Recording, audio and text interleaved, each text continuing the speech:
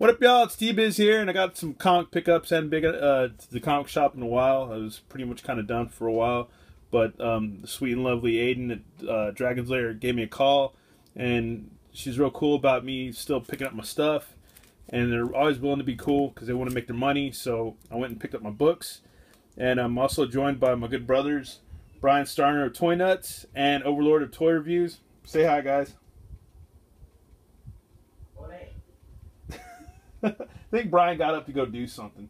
Anyways, they'll be here. But um, yeah, here's the books. I picked up Birthright number ten, which uh, I still love Birthright. Still want to keep reading it. Uh, we're gonna start catching up on my GI Joes because what I've been doing is uh, I went through all my X-O Manowars, read all those. Really good, by the way. If you're sick of Iron Man, read Valiant's um, X-O Manowar. Good stuff.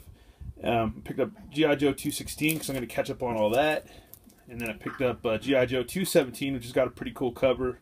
Which is uh, this is Cobra Rising Part Two, and it's uh, got Snake Eyes and Storm Shadow and Timber on the cover, which is pretty cool.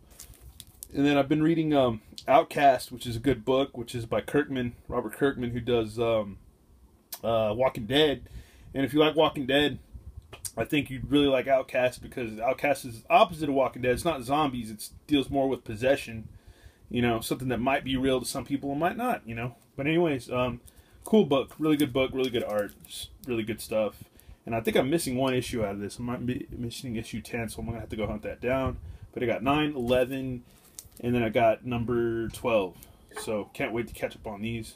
Even the covers, if you just look at the covers of these books, they're just good. And then I've got a uh, Stray Bullets number 7 for Sunshines and Roses. This is a really good book, but I would say adults only because it's pretty graphic and pretty gnarly. It's to look at the seedier side of Americana, I guess. And uh, Stray Bullets number six, Sunshine and Roses, the story, and um, pretty cool, good stuff. Can't wait to read those. And um, got Kanan the Padawan number four. This is another good Star Wars book. If you like Rebels, you like this book a lot because it's uh, the early stories of Kanan when he was a Padawan.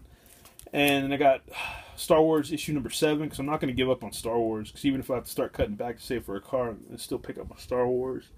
But yeah, looks like Obi Wan on the cover with on the in the background, and then I guess what he's in the foreground or whatever, it'd be a bunch of weird baddies. So who knows who these guys are, but they look cool. And then I got Star Wars number eight. Looks pretty cool. Looks like a really ticked off Luke with a bunch of blasters pointed at him. And then Star Wars number nine, which is another good pickup because um, on the spoiler alert on the cover, I guess this is Solo's wife at one point on the cover. He's married, so. And then uh, Darth Vader number eight, which is really good, and um, recommend that also. And Darth Vader number nine, really cool cover, just good, good book, man. All the Star Wars books are good; they're all great. And then we got, let me see, we got Lando. Let me see. Lando number two, which is uh, Soule, Maleev, and Mounts. And Soule, man, he's, or, I can't remember his name. Is it Robert Soule or something Soule? Or, ah, he's a good rider, Anyways, good rider. But, um, Charles Soule. Yeah, I think, I can't remember. Anyways, uh, then number three of Lando, which is really cool cover because you got the Imperial Guard in the background with Lando falling, so it looks pretty neat.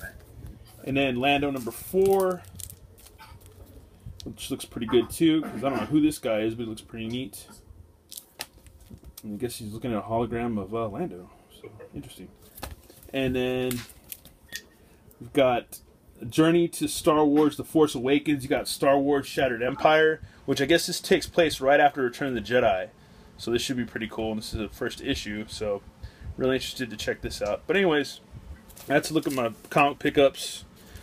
Um, I was kind of going to distance myself from the comic book community and just comics in general, but you know, it's kind of like the mafia.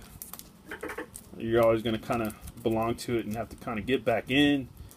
And um, another shout out to a good brother out there, Daring Doodads, who's also a big comic book fanatic and a good guy and good videos.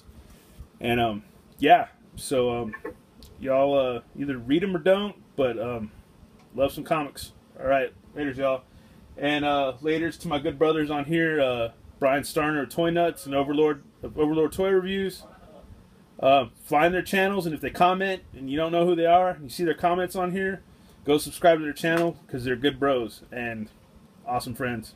Subscribe, text, and tell everybody. All right, later, y'all.